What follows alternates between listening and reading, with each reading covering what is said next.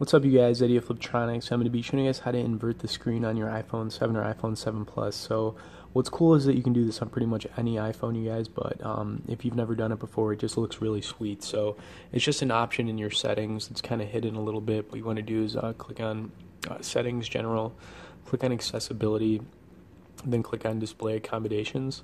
From in here, you're going to get the invert color option. So let's just click it and take a look. All right, there you have it, you guys. It looks really sweet. It's just kind of like a little cool trick that you can, uh, you know, show your friends or whatever, and say, you know, they'll look at it and be like, "Oh, what happened to your, um, you know, your uh, your iPhone?"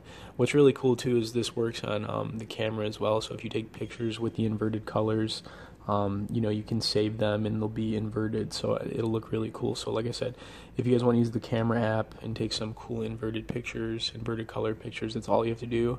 You want to take it off, just click that little icon and it'll, you know, turn it off for you. But, anyways, it's just a little cool trick um, that you guys can use. So, thanks for watching this video. Please stay tuned for more and be sure to subscribe to our channel.